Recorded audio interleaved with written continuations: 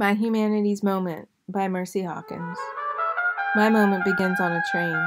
The summer of 2016. I was embarking on a five day cross country trip from my hometown, Sacramento, California, to New York City.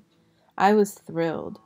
I packed a box of crackers, a large container of espresso, a book of Sam Shepard plays, and an iPod filled with Miles Davis, Charles Mingus, and Billie Holiday.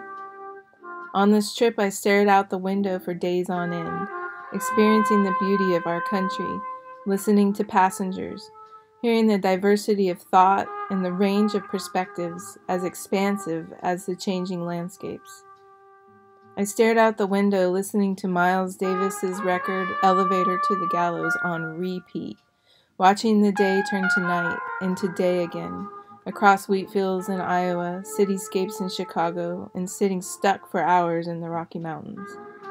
Every time I hear that record, I'm transported back to the whirling landscapes, the enchanted mesmer and murmur of the land that was affirmed for me and left me waffling in mystery. The record embodies the work of stars, but is earthbound. This trip this record, this humanities moment became the crux of my art practice and current academic trajectory. The moment that affirmed my curiosity for the endless wonder that is America, in all of its diversity, tragedy, and enchanted beauty. It reoriented my own personal space, sound, and vision. It reset my internal clock to a different sense of time. Time zones out of time, of the invisible yet tangible through intuition. And as always, always go back to the music.